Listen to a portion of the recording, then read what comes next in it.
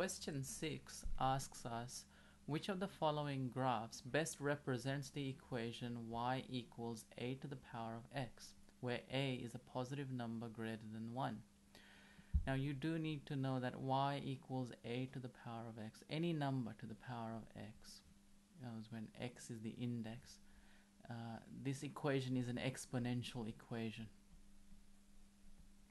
Okay, and exponential equations are not straight lines, they are in fact they're curves.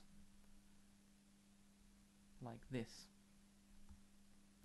Um, they could also be like that or like that or like that but they're curves. They're not straight lines. So that rules out A and it rules out B.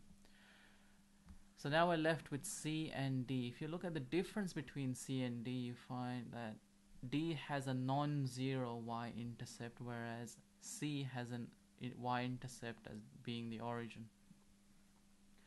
Now, y-intercepts occur when x equals to 0. So if we let x equal to 0 for this equation, y would be, the y-intercept would be a to the power of 0, which is 1. Anything to the power of 0 is 1. And so it makes sense that this curve y equals to a to the power of x must hit the y-axis at a non-zero point 1. It can't hit the uh, y-axis at the origin.